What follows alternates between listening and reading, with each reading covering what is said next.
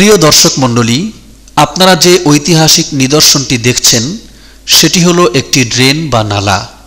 এর ঐতিহাসিক নাম হলো নহরে জুবাইদা। জুবাইদা ছিলেন আব্বাসীয় খলিফা হারুনার রশিদের বিদুষী স্ত্রী। মক্কাবাসীর পানির সংকট লাঘব করার জন্য বাদশাহ হারুনার রশিদের স্ত্রী জুবাইদার পৃষ্ঠপোষকতায় এই ড্রেনটি নির্মাণ করা হয়েছিল। এজন্য এটাকে নহরে জুবাইদা বলা হয়।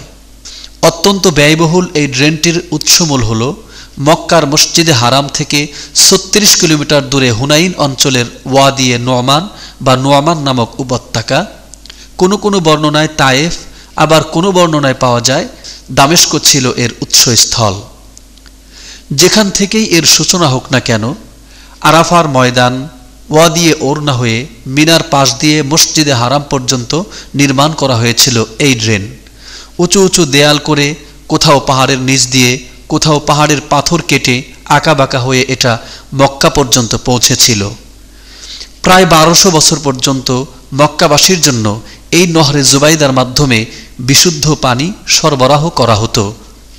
মুসলমান বাদশাগণ বিভিন্ন সময় এই নহরে জুবাইদাকে প্রয়োজন মাফিক সংস্কার ও মেরামত করেছেন। এক পর্যায়ে কোনো এক সময়ে এটা ভেঙে চড়ে যায়, ফলে পানি সরবরাহের উপযুক্ততা আর থাকে না। আজকে এর ধ্বংসাবশেষ দেখে আমরা অতীতের ঐতিহাসিক নিদর্শনকে স্মরণ করতে পারছি, স্মরণ করতে পারছি জুবাইদার মতো একজন নারীকে, যার এই অবদান ইতিহাসে স্মরণীয় হয়ে আছে। আল্লাহ তাকে ক্ষমা করুন এবং উচ্চ মাকাম দান করুন।